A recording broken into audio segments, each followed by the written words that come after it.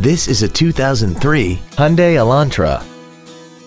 This four-door sedan has a manual transmission and an inline four-cylinder engine. Features include a multi-link rear suspension, air conditioning, full power accessories, tinted glass, front multi-stage airbags, child seat safety anchors, rear seat child-proof door locks, a split folding rear seat, a rear window defroster, and a sunroof enables you to fill the cabin with fresh air at the push of a button.